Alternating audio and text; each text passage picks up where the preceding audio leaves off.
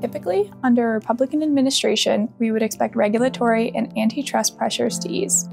However, given President elect Trump's history and public dislike for many large technology companies, we believe it's possible that the antitrust scrutiny on big tech could continue.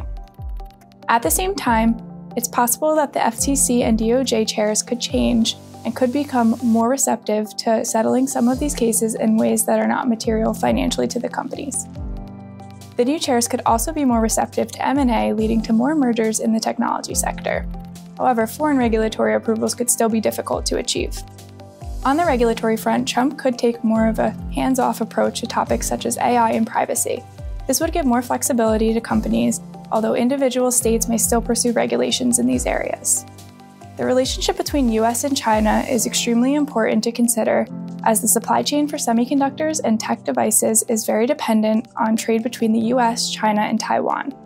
Under the Biden administration, we've already seen a series of export restrictions, which have had a limited impact financially on the sector so far. It's possible that Trump could escalate the situation further and impose additional restrictions. Given that many semiconductor companies derive a material portion of revenue in China, this poses a financial risk to the sector. We also believe Trump could increase tariffs on semiconductors and other tech imports, push forward American made products. This could pressure margins for many companies in the sector. At the same time, the few companies that are focused on US based semi manufacturing could benefit from some of these potential changes. One of the most serious disruptions to the sector could come from any changes in the ability to trade with Taiwan, which currently manufactures most of the world's advanced semiconductors.